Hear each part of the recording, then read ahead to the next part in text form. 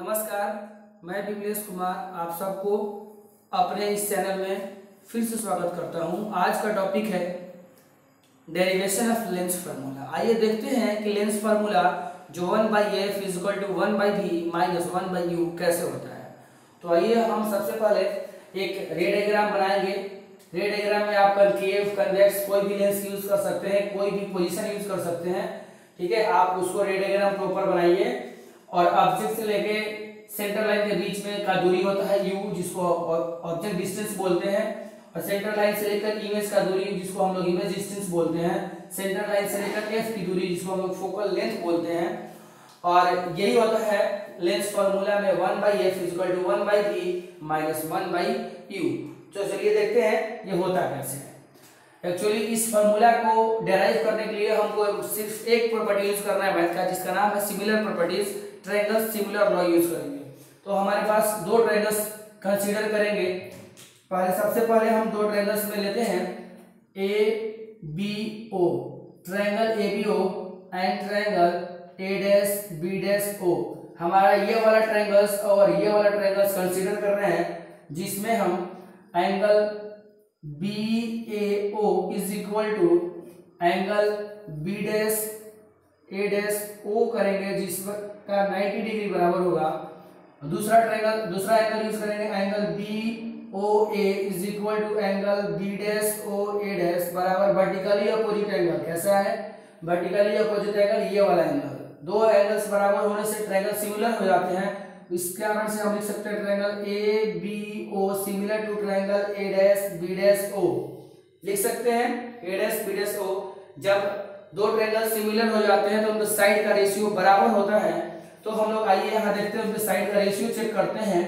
हमारे पास A B by A dash B dash is equal to A O by A dash O equation number one अगला हम triangle use करेंगे। Triangle M O F and triangle B dash A dash F ये भी triangles आपको similar नज़र आएँगे। ये वाला triangle B dash A dash F 90 degree M O F ये भी 90 डिग्री और ये भी वर्टिकल अपोजिट एंगल ये भी 90 डिग्री है तो हम लोग लिख सकते हैं similarly similarly triangle M O F similar to triangle B dash A dash F ठीक है? वो यूज़ करेंगे ट्रायंगल्स में ब्रैकेट में अगर लिख रहा हो तो आप लिख सकते हैं एंगल एम ओ एफ़ बराबर angle B dash A dash F is equal to 90 degree और angle M F O is equal to angle A dash F and B dash बराबर वर्टिकल अपोजिट एंगल राइट ये आप लिख सकते हैं, चाहेंगे तो। वैसे सिमिलरली करके आप लोग ट्रायंगल्स सिमिलर प्रूफ कर सकते हैं।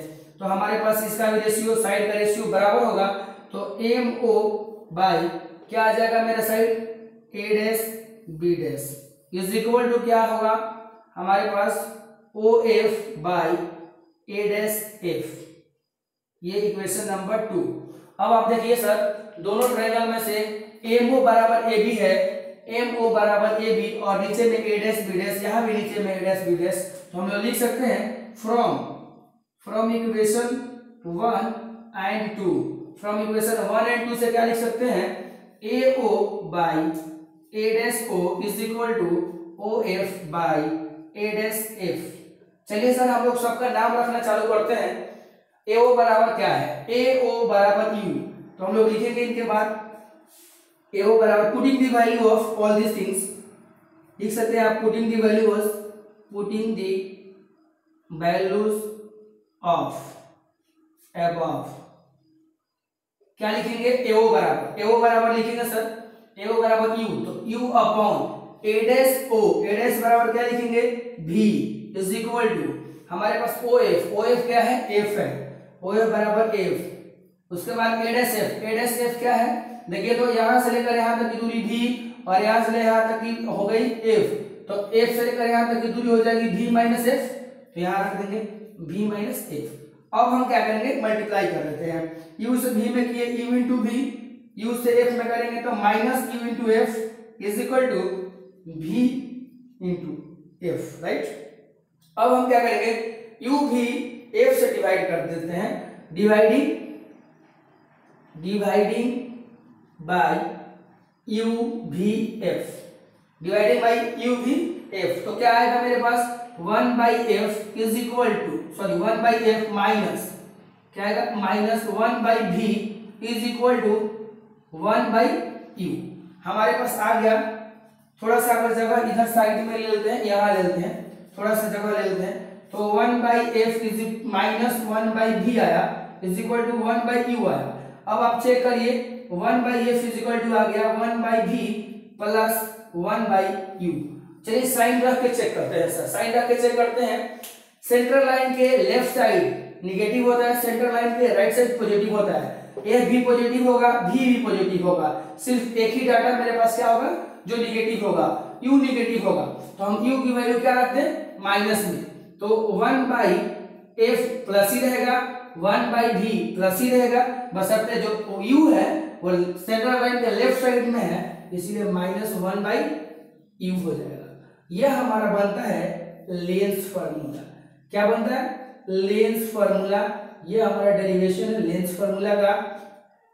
उम्मीद करते हैं कि आपको ये वीडियो अच्छा लगा होगा। अगर आपको ये वीडियो अच्छा लगा तो लाइक शेयर सब्सक्राइब करना भूलें। अगला वीडियो लेकर हाजिर होंगे। तब तक के लिए धन्यवाद।